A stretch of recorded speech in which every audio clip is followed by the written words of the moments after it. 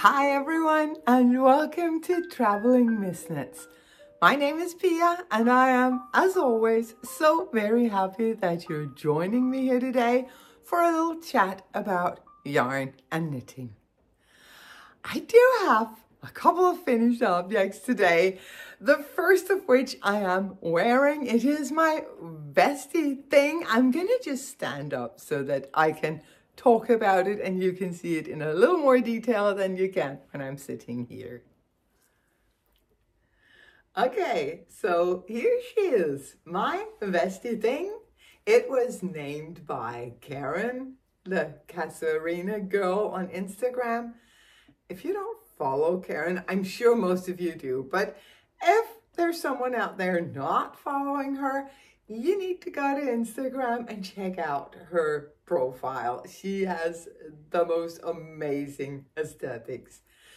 But anyway, she named this vesty thing.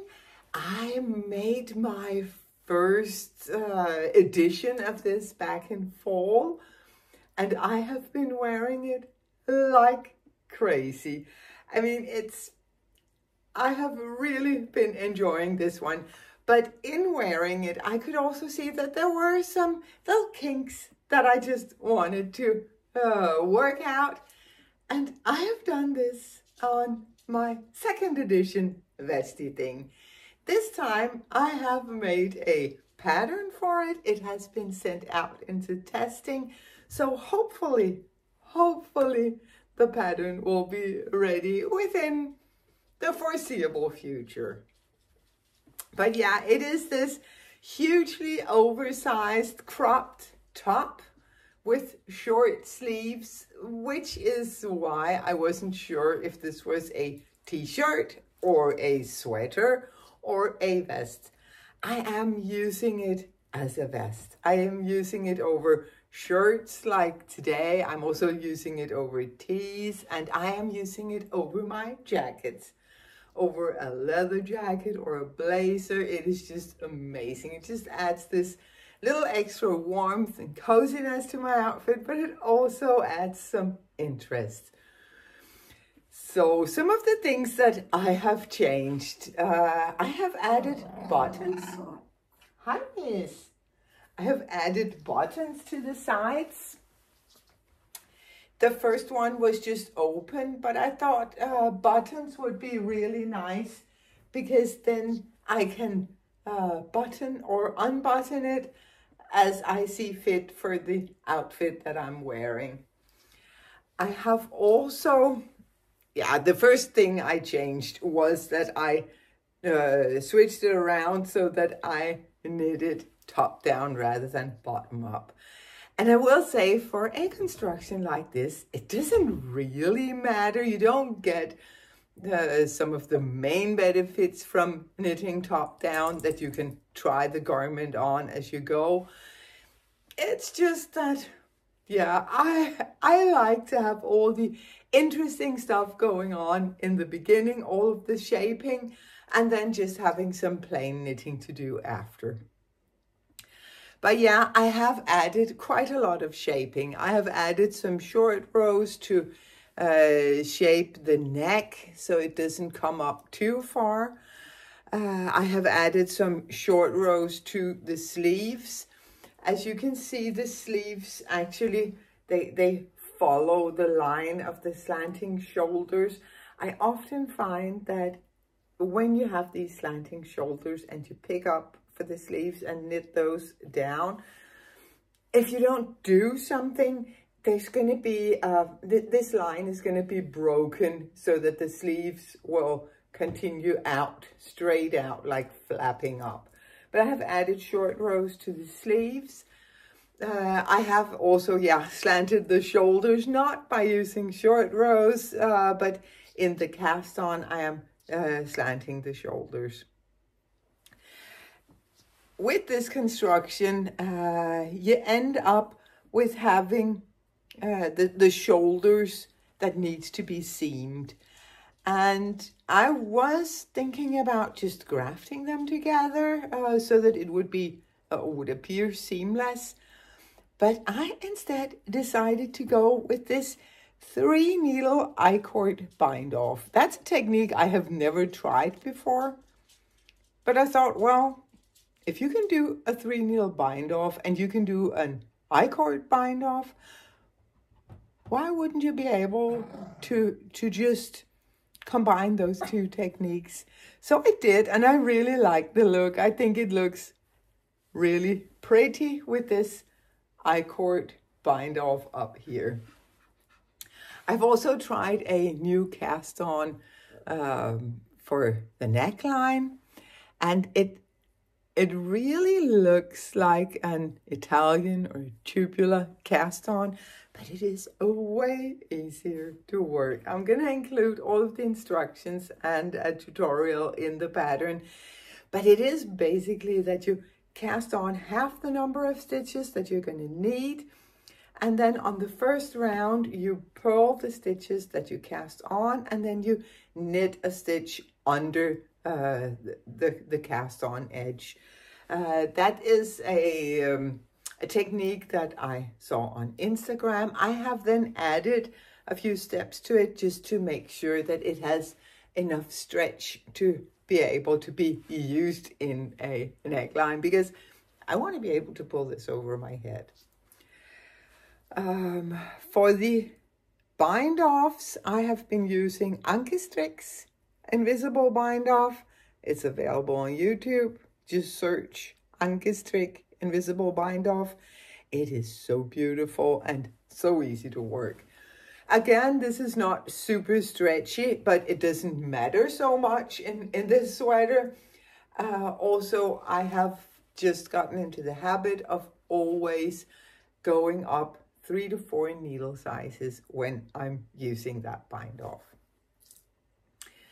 The material that I am uh, using in the, in this vesty thing is I wanted something that was relatively light uh, and I wanted something that was rustic and toothy enough that it didn't uh, just drape and, and just grew out of control.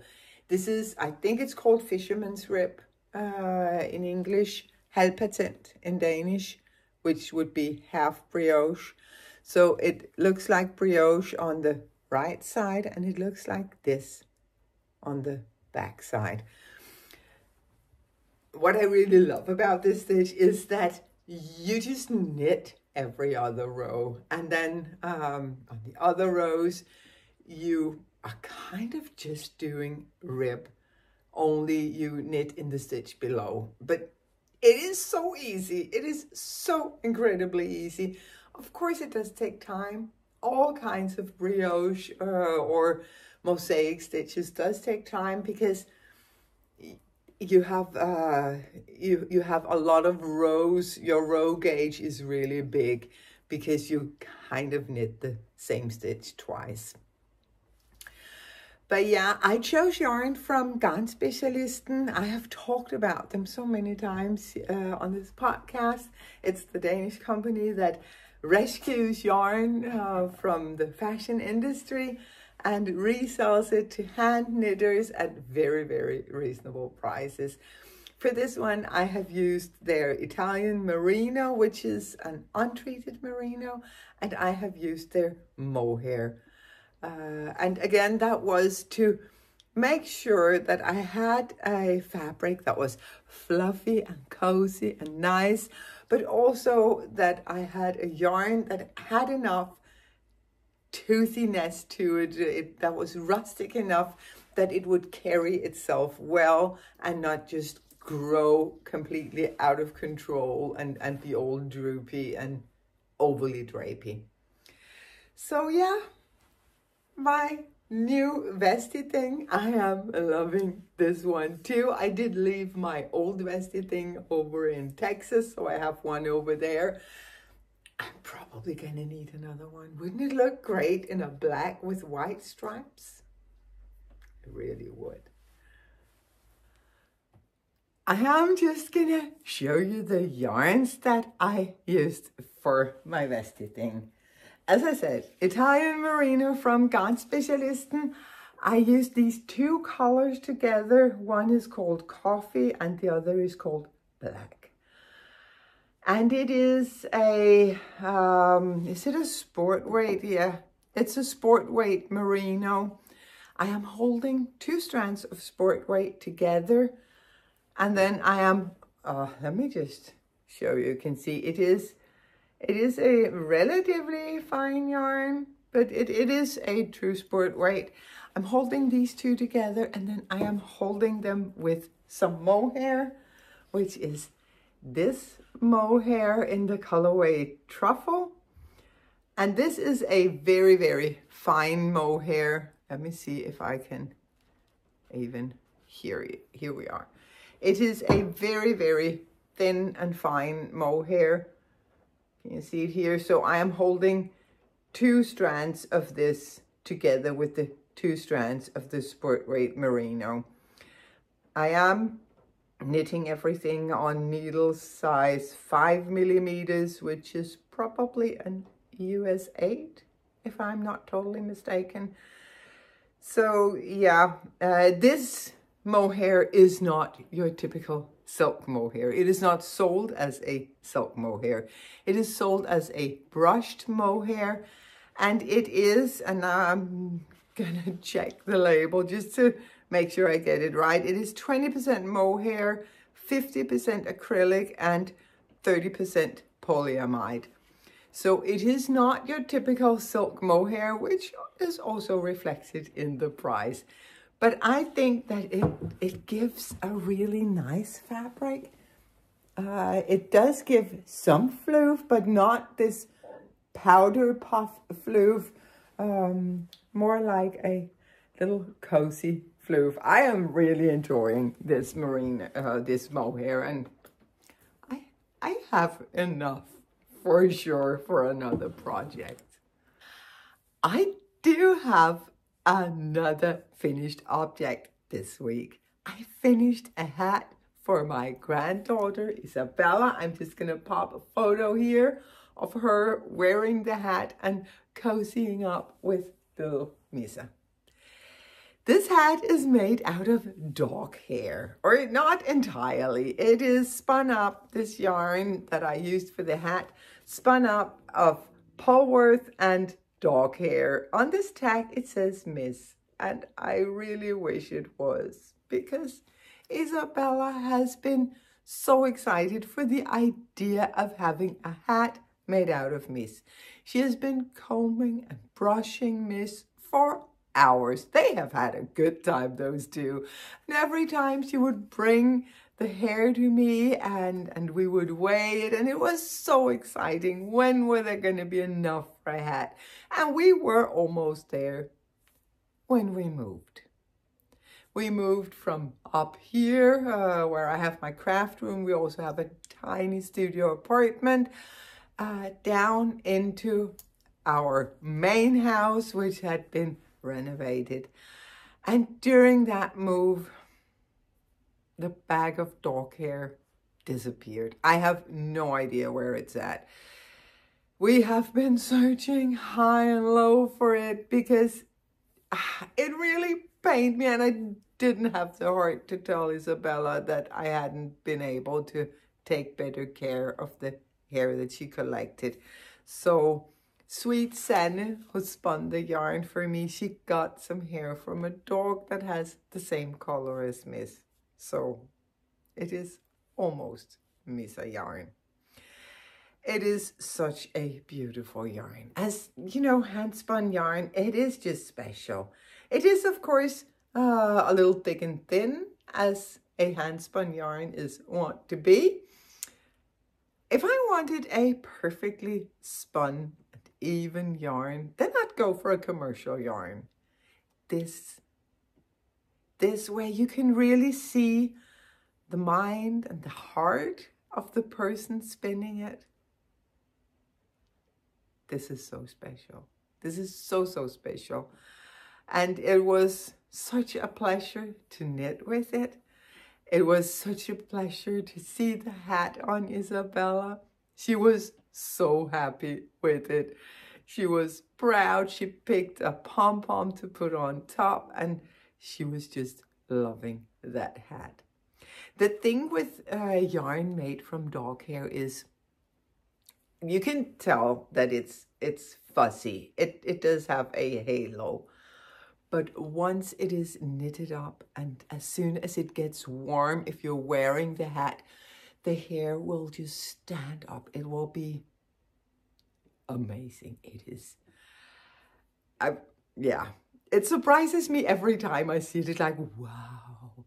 Wow. It is so, so, so beautiful. And Isabella loves the hat. She is so proud of her Misa hat. Uh, she was very excited to see if her own dog at home would react to the hat. And actually, I was kind of also expecting Misa to react to the hat, but not at all. Like, not at all. She never notices my knitting, which is probably a good thing. But I did think maybe she would react to this because, of course, it will smell a little bit like dog, but she she does not care. She she is not the kind of dog who cares a lot. She cares about yeah cuddling and cozying up and being close together and about it. That's her range of interests.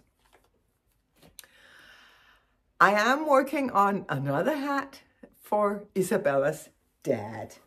And I am keeping it in this uh, project bag from Knitwear by Maki. This was the one that she created for our fourth knitathon. It is just so pretty. I love her bags, but you've been hearing me talking about those bags forever and ever. I'm not going to bother you today. Isabella's dad, my son, just got his hunter's license this year, which is kind of a big deal here in Denmark. It's it's a process uh, with a lot of classes that you take and you have a test and so on and so forth. He now has his hunter's license and he has been uh, out with some friends on a couple of occasions. When we were in Texas, he called me, Mom, don't you have a white hat? I need a white hat. We're going hunting this morning and there's snow everywhere. I need a white hat. I was like, I don't have a white hat. So I am, of course, making a white hat for him. It's his birthday on Wednesday. So I am gonna give him a white hat, maybe also an army green hat. I don't know, olive green. I don't know. Time will tell, but for sure he's gonna get his white hat. I am making it just like I made my own black hat, just with uh, a little more stitches. I have cast on 80 stitches on size 6 millimeter needles, and I am holding two strands of this drops Lima, which is 50%. Uh, I'm pretty sure it's 50-50. Uh, of course, I can't read it, but close to 50-50 alpaca and wool. So this is a very, very warm yarn. It is not as drapey as alpaca yarns often are, which is why I am okay using it in a hat. I'm doing two by two ribbing, uh, and then I am gonna do Again, the crown decreases, uh, decreasing only on one side of five stitch markers so that I get this star or swirly crown on the hat. I think I'm gonna use close to 200 grams of yarn. Uh, this is a very thick hat uh, and he has a large head as do I. But yeah, this is this is a wonderful project. I love hat knitting. It is small, portable, and very, very easy, and not as fiddly as socks. Socks are so fiddly. This hats, hats for the win. So I am really enjoying this. I'm gonna finish it up soon, so I'm sure that it will be ready for his birthday on Wednesday. And as I said, maybe, maybe a second hat. We'll see about that. I have also put in a lot of work on an old-ish WIP that I had resting over in Texas. It is in this beautiful project bag from Tina Mai. She sells her bags on Instagram. She uses all kinds of old fabrics to make these gorgeous bags. And the WIP that I had waiting over in Texas was my Carlazzo shawl. And I have, I have put in quite a lot of knitting. Of course, it's, it's on a, a too small uh, cord to even show you really, but I am, I am getting close to the finish line. I don't have a lot more to knit on this. The Carlazzo shawl is one of my older designs. It was originally made in a fingering weight yarn. I was using three different colors of fingering weight. But I decided to go ahead and make it in just one color and then in a worsted weight yarn to get like a chunky, big, lovely shawl. And it is working out exactly how I was hoping that it would work out. I am using some Knit Picks Wool of the Andes. This is the episode of the Workhorse yarn, isn't it? Well, I did have the dog. This is not workhorse yarn. This is a precious, precious, precious yarn. But yeah, uh, Wool of the Andes worsted in the uh, Cobblestone Heather colorway. I am just knitting away on it. I it when I was in Texas in the fall, I got the idea to make this shawl. I cast on and I knit what, halfway into the lace section. And then I decided to leave it over there because my suitcase, I had a full suitcase with only yarns and knitting projects. So I was like, yeah, need to sort through some of this. So I just left this behind in Texas. So, um, yeah, when I came back one evening, I was craving lace. I, I was craving texture and um, something that would like demand my attention. So I picked this up, I finished the lace portion, and then since then I have been knitting while I am reading, um, stockinette stitch back and forth. Perfect for knitting and reading. The only thing that I have done differently than in the pattern is uh, this section. There's a couple of these. Uh, there is one on either side of the lace portion, one here. And I think I'm also going to finish the shawl with this section. In the original pattern, this is a color work band, but uh, I just made um, some actually stitch knit one bow one and it looks it looks really nice. I like it. There's just a little bit of interest. I do think I am gonna, in the original pattern, you just finish up with, with a, is it a four by one ribbing, something like that. But I think I'm gonna finish it off with another one of these sections. And then I am gonna do what I did to my friend to friend shrug. I'm gonna do one row where I knit um, into the stitch two rows below. I'm, I'm gonna add that purl bump on I'm Gonna add that purl bump from two rows below up on the needle and knit it together with the stitch on the needle. That will help the shawl, uh, the edge not to roll.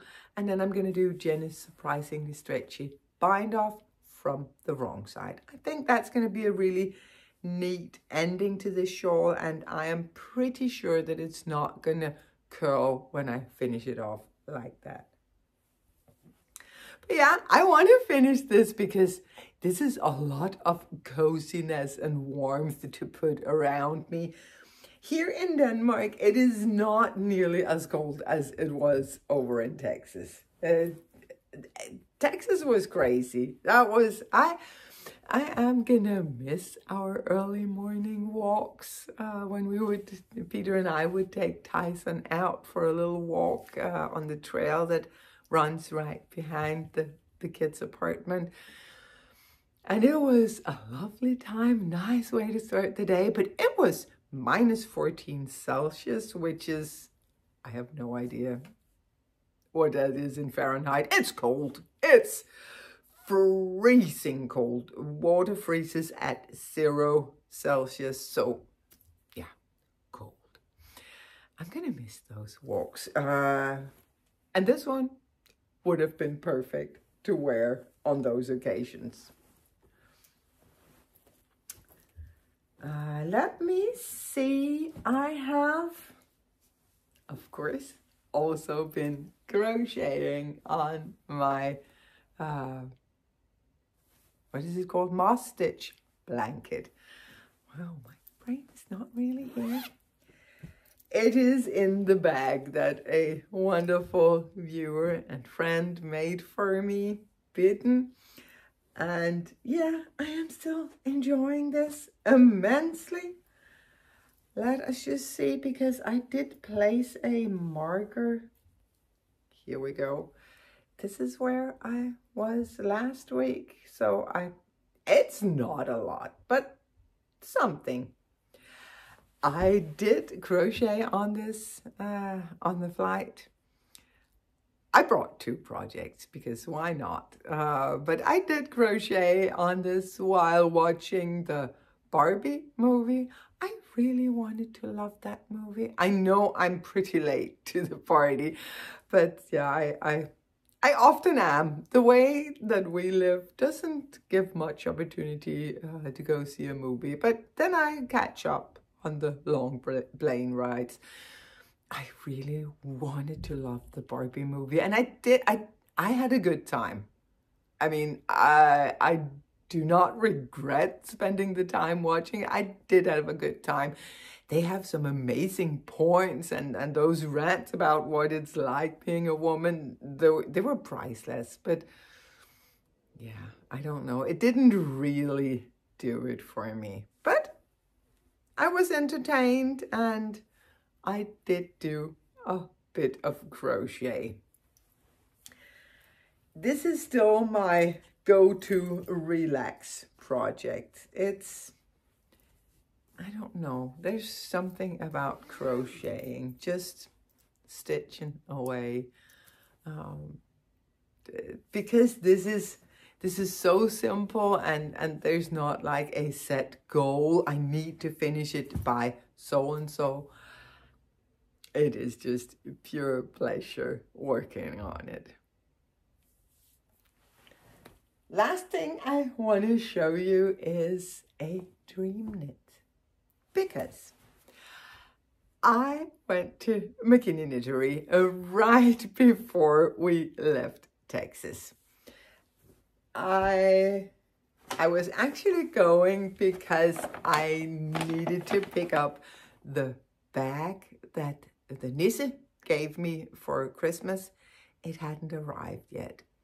So instead, I got let's take it one at a time. And they're beautiful bags. I mean, the McKinney Knittery, they have the best bags. I got some Ito Sensai. I have been wanting to try this yarn for a long time. This year for Christmas, I got four copies of the same knitting book.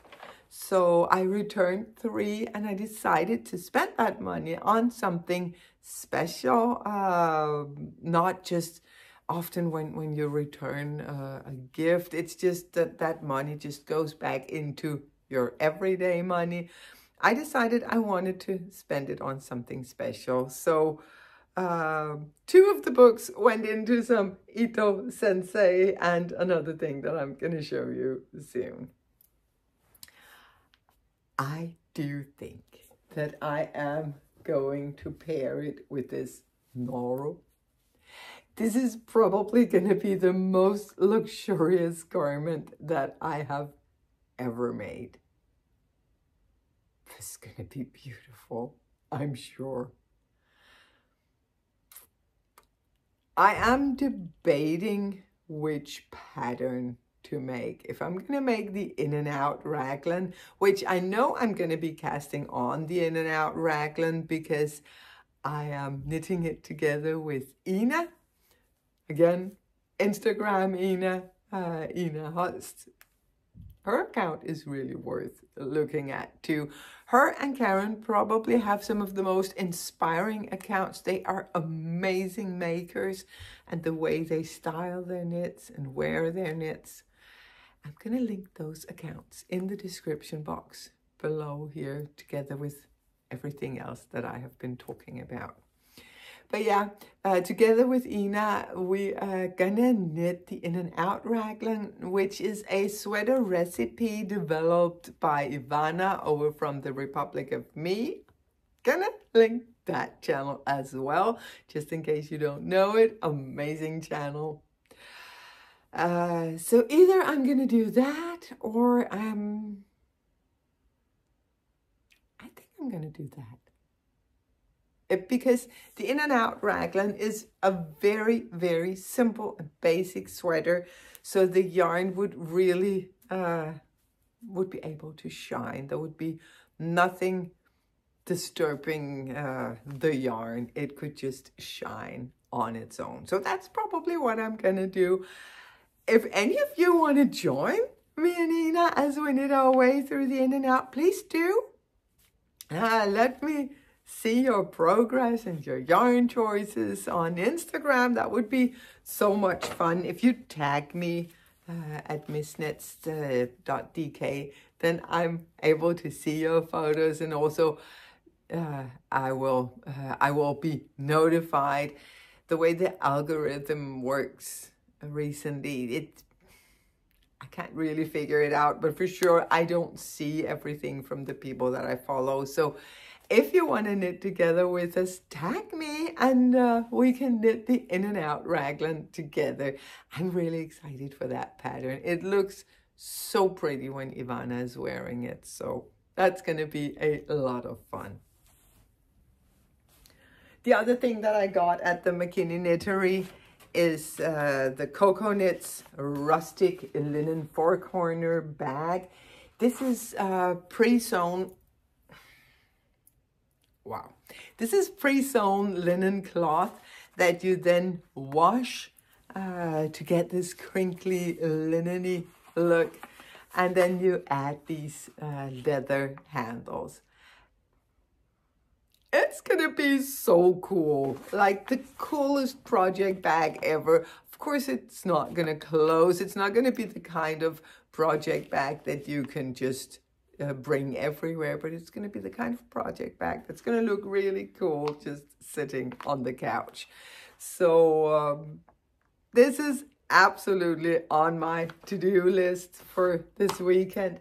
And then I think I am going to finish the hat and the shawl because they're so close to being finished. But then I am going to cast on the In and Out Raglan by Ivana from the Republic of Me that was it for the creative content this week.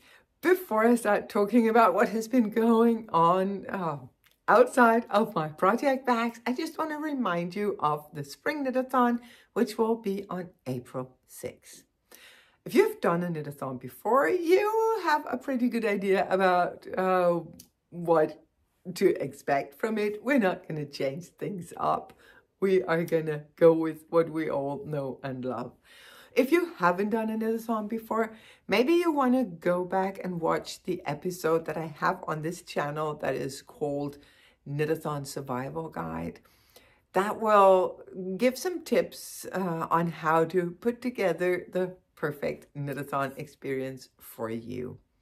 Because obviously you don't have to knit or crochet for 24 hours. Of course not. That would be ridiculous um, what you do is you you spend the time that you can and that you want to spend and you enjoy the fun and the friendship, the community, and all of the uh, podcasters that are going to go live.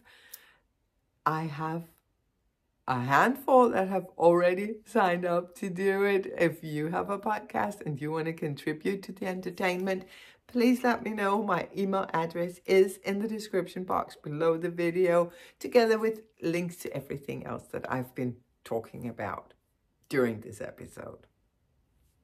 But yeah, life wise, we left Texas on Saturday we um, went up to the McKinney so I could get my linen bag and the Ito Sensai. And then we more or less drove to the airport from there. And of course, we are missing our little ones terribly.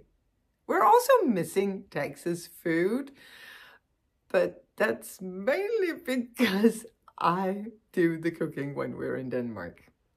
Not a cook, but we did have a wonderfully uneventful flight coming back from Texas. As I mentioned, I was watching the Barbie movie. We did get quite a lot of sleep also, which was nice because when we came home, we wanted to spend time with friends and with family. We have been doing that. It has been awesome. I have been watching Hunger Games together with my granddaughter I, I was a little hesitant. Is this too much for her? But then again, she does watch The Hobbit, uh, Lord of the Rings. So I was like, eh, she's going to be fine. She was fine. Uh, we are probably going to watch number two, Catching Fire. I guess we're going to watch that one tonight. I also spent a lovely afternoon with my grandson, Victor. He has he, he loves going to the library and he lives in uh, in the next city over. So usually he will go to his library. Uh, but uh, he he was very curious to know about my library. So I picked him up from kindergarten the other day, and we went to my library. Found a lot of good books. We spent a lot of time there, just hanging out, playing, and having a good time which is probably the headline for this week uh, playing, hanging, hanging out, and having a good time. Peter will be leaving for Dubai very soon, so I'm going to be on my own, which is probably going to turn into some kind of a knitcation. I am not mad about that for sure, but I'm of course going to miss him. I do have my work lined up for me I definitely, definitely want to assemble this project bag. I want to finish a couple of projects so that I can cast on my in and out raglan. But yeah, that is something to look forward to. I hope you have something good to work on and something good to look forward to. Until I see you again, Stay safe, stay happy, and keep knitting.